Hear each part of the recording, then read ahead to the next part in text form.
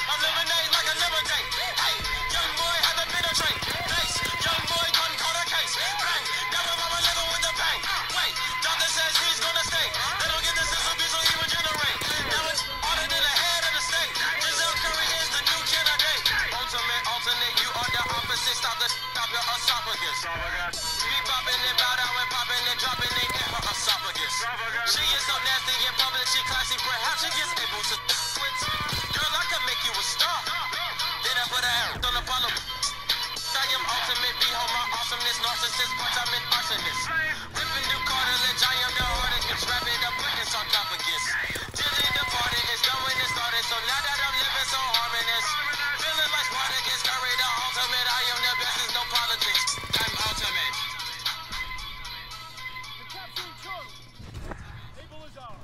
Well, that's a much better game than last night. Um, at least I made it positive this time with capturing some flags.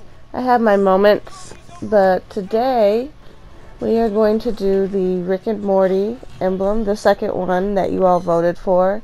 I think this one actually was a little bit more popular, but I like the other one better. So, like I said, I was going to do both of them. So, I hope you enjoy this video. Remember to please like and subscribe down below. Also, you can follow me on Twitter at FieryFairie325. And until next time, peace.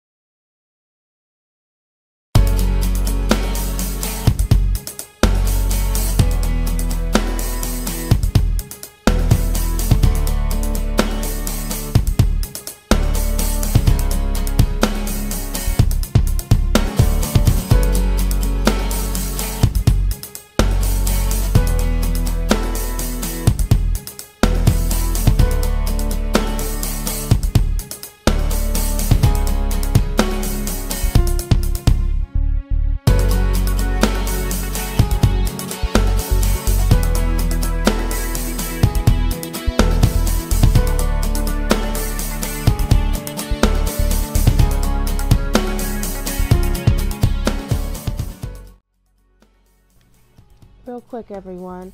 For the letter part, all the colors and gradient rotation is going to be exactly the same. So you're just going to make the D first and you're going to copy and paste each letter and just change the layer to the different letters. So that should be a lot simpler for you to do it that way.